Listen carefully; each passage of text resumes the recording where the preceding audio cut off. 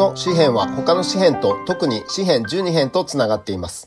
その詩編の中で私たちは終わりの日の堕落を見ました。正しい人たちはいなくなってしまったように思いました。そして悪者が支配しています。堕落と悪と不法がはびこっていました。これは現代の姿だと思われるかもしれませんが、もし巷の話し言葉を使わせていただければ、君はまだ何も見ちゃいないぜというところです。大観難時代が来るまで待たなければなりません。ついでながら私はあなたが大観難時代を見ないことを願っています。なぜなら神様の者たち、つまり信者の集まりの中に入っている人々は大観難時代を通ることはないからです。主はすでに目視録3章10節地上に住む者たちを試みるために全全世界に来ようとしている試練の時にはあなたを守ろうと言われたからです。教会というのは本当の信者たちを意味しますが、彼らはその時の前に地上を去るのです。この詩篇は私たちの目の前に最後の日々、つまり終わりの時代の堕落と悪を確かに見せてくれます。ホーン司教が行ったこの詩篇の素晴らしい分類を見てください。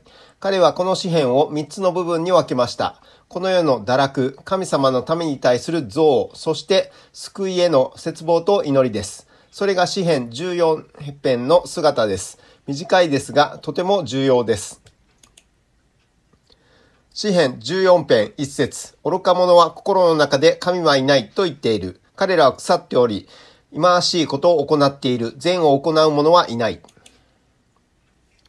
この説の愚か者という言葉はヘブル語でナバルです。アビガエルという名の美しい女性と結婚していたナバルという名の男がいました。彼の物語は第一サムエル記25章で語られています。彼の名前は確かに彼の特徴を表していました。彼は愚かな行動をしました。ナバルという言葉は単純、滑稽、バカ、愚か者または狂人と訳することができます。私には無神論者を扱うのにとても成功してきた頭の良い友人がいます。ある日彼が何人かの男性たちのグループの中にいた時、無神論者がいました。僕は神がいるなんて信じない。人間には魂なんてものはない。人間が死ぬ時は犬が死ぬのと同じ。この人物は狂人のように夢中で喋り続けました。私の友人はグループがバラバラになるのを待って、この人に近づきました。彼は言いました。君は無神論者だって言ったよね。この言葉を聞くと、この人は自分が神様がいないと信じていることについて、また熱弁を振るい始めました。私の友人は言いました。僕は君に質問したいんだ。聖書には愚か者は心の中で神はいないと言っていると書いてある。愚か者という言葉は頭がおかしいとか狂っているという意味だ。君が神様についてあのように話したとき、君は本気ではなくて周りにいた人たちのために話していたのか、そうでなければ君は愚か者で狂人だ。僕は君がどっちか知りたいんだ。この人はくるりと振り返って言っていまし。言ってしまいました。今日私たちは宇宙についてどうしたらよいかを知っているのに神様がいないとあえて言うのは狂人だけです。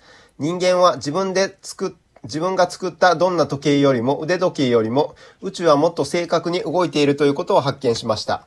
そして偶然にできた腕時計などどこにもないのです。それはどこかの時計屋さんが作ったものです。腕時計よりも正確な時を刻む宇宙があるということは、そこに宇宙を作った誰かがいることを私たちに教えています。愚か者は心の中で神はいないと言っており、今愚か者が舞台に現れます。私たちはすでに詩編10編4節で彼を垣間見ました。そこにはこう書いてありました。その思いは神はいないの一言に尽きる。彼は人間の堕落の奥深さを示しています。今日大学で教えている多くの人たちが哲学博士号を持っています。彼らのうちの多くは無神論者です。私は注意深くこのことを言いたいと思います。人間が人類の堕落の中で落ちられる一番低いところに落ちるのが無神論者になることです。神様の御言葉はそのように言っています。もし神様がいると信じていないのなら狂人です。頭がおかしいのです。本当の分別はありません。高い IQ を持っていることだけで十分なのではありません。私は昔哲学博士号を持っている人と一緒に教えていましたが、彼は雨宿りをする分別を持っていませんでした。私はある日彼と一緒にゴルフをしていましたが、その時雨が降り始めました。彼は私を見て言いました。どうしたらいい？彼は本当に情報を得たくて質問していたのです。分別のある人なら誰でも雨がザーザー降ってきたら何をするでしょう？私は彼に言いました。雨宿りをする方が良いと思うよ。私でさえもそんなことは知っていたのに彼は知らない様子でした。ですからお分かりのように学校の学位は人の知恵を証明するものではないのです。彼らは腐っており、忌まわしいことを行っている、善を行う者はいない。ほとんどの無神論者は、また偉大な罪人であることもわかると思います。ひどい不道徳は一般的に彼らの特徴の一つです。大学の連中と交際をする一人の人が私に言いました。